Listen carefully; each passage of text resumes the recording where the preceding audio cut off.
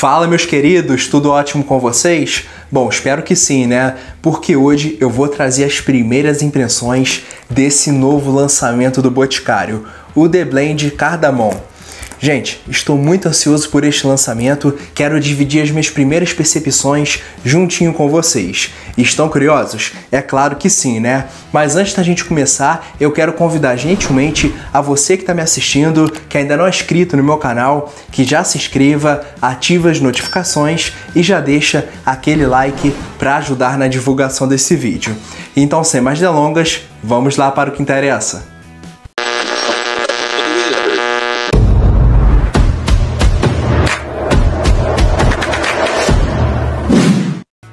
Bom, gente, todo mundo sabe, não é segredo para ninguém, que a linha The Blend do Boticário sempre gerou muitas polêmicas.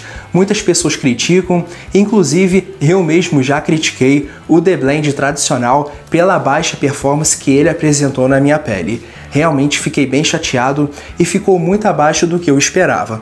Mas temos que ser sinceros e admitir que a qualidade dessa linha está no nível altíssimo. Tanto o The Blend tradicional quanto o The Blend Bourbon e eu espero de coração que o Boticário mantenha a qualidade aqui no The Blend Cardamom. Estou muito ansioso, está lacradinho, como vocês podem ver. Parece que a caixa segue esse mesmo padrão, né, dos outros. Eu vou abrir aqui juntinho com vocês, tá? Tirando o celofane. Olha só, é, a caixa segue esse padrão, como vocês podem ver. The Blend Cardamom, o Boticário, frasco de 100 ml e a fragrância é em concentração ou de parfum. E aqui atrás o briefing de criação. Agora vamos ver o frasco Olha, gente, eu acho esse frasco realmente muito bonito. Olha isso. Segue o padrão com essa coloração meio esverdeada, né? Simbolizando até essa nota de cardamomo, que tem esse aspecto nessa coloração mais verdinha. Muito bonito esse frasco, hein? Caramba, essa coloração ficou um espetáculo. Ó, aqui tem tipo um imã, né? E vamos ver o borrifador se ele segue o padrão dos outros, que é um espetáculo. Primeiras borrifadas juntinho com vocês, ó.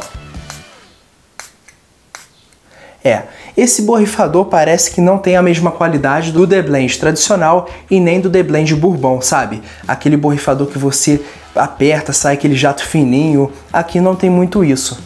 Ó, aqui é um borrifador mais comum. Parece um corte de custos aí do Boticário, né? Mas vamos lá para o que interessa, que é o cheiro desse perfume aqui. Olha, de cara eu já tenho aqui o DNA do The Blend tradicional. Isso é indiscutível. Você borrifa e sente esse lance, né, desse, desse combo de notas feitas no alambique de cobre, né? Aliás, o Boticário descreve isso aqui, ó que realmente eles, faz, eles fizeram né, esse blend especial com pimenta preta, noz moscada, cravo e canela.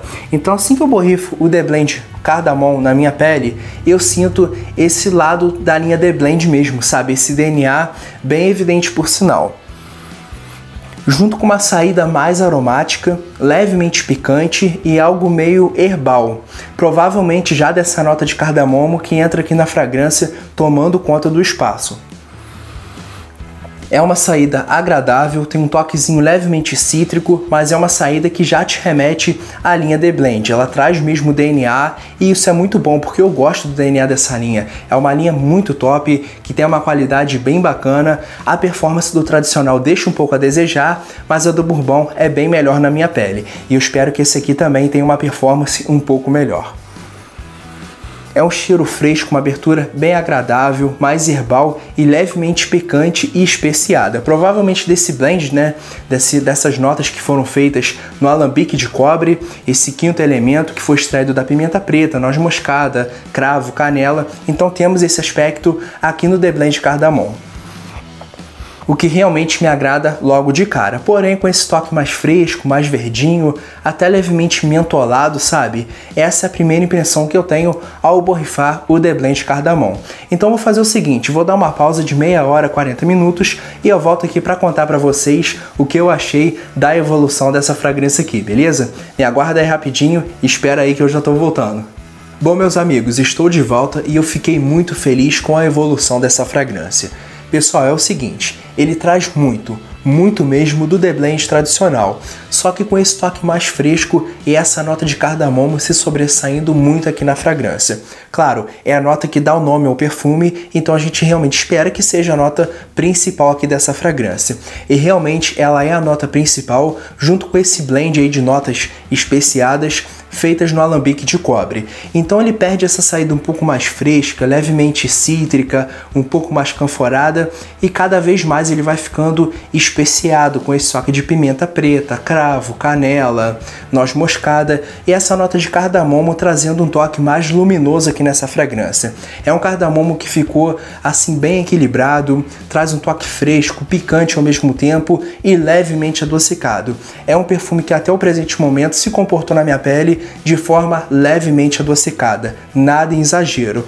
Ou seja, pelo que me parece, ele vai ser o The Blend mais versátil da sua linha até o presente momento. Vai dar para você utilizar durante o dia tranquilamente, isso é fácil de perceber. Agora, depois que passou uns 15, 20 minutos, ele me trouxe uma vibe mais amadeirada na base, como se fosse um musgo de carvalho, um vetiver, madeira guaiaque, confirmando esse DNA da linha The Blend. Gente, o perfume é muito agradável, de muita qualidade, então você consegue perceber que eles conseguiram manter a qualidade e também esse DNA que traz na linha The Blend. Isso ficou muito bacana, eu gostei demais. É um perfume que realmente vai exigir assim mais dias de teste, porque é um perfume bem complexo e se eu estiver falando para vocês que é um perfume mais do mesmo, eu ia estar mentindo assim de uma forma descarada, porque a linha The Blend, na minha opinião, não é mais do mesmo. Nenhuma linha linha de perfumaria, nenhuma marca de perfumaria utilizou esse blend né, de notas especiadas e retirou um quinto elemento, como descreve o Boticário. Então é um perfume inovador? Para mim ele é. Ele traz o DNA do The Blend sim, mas com esse lado mais fresco, mais vivo, mais luminoso e mais aromático mantendo esse blend especiado e essa base mais amadeirada que estamos acostumados a ver tanto no The Blend tradicional quanto no Bourbon. É um perfume que realmente merece uma nota até o presente momento 8. Se realmente ele tiver uma performance muito boa na minha pele, vai para uma nota 10 e é um forte candidato a ser o melhor perfume nacional lançado em 2021. E olha que vocês me conhecem, para eu estar falando isso realmente é porque eu gostei muito dessa fragrância. Para mim, até o presente momento, ela é melhor do que o Zara de Santal, ela é melhor do que todos os outros lançamentos que o Boticário mandou aqui pra gente nesse ano de 2021.